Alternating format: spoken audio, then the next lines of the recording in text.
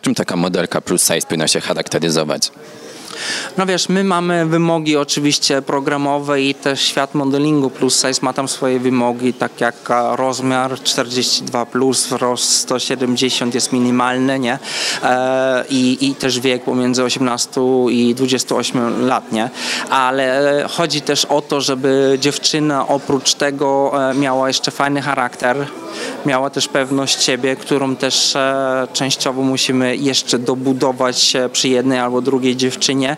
E, musi być oczywiście nasza supermodelka plus size końcowo, finalistka, właściwie każda z naszych dziewczyn musi spełniać też rolę ambasadorki dla każdej kobiety i dla każdej dziewczyny w rozmiarze plus size.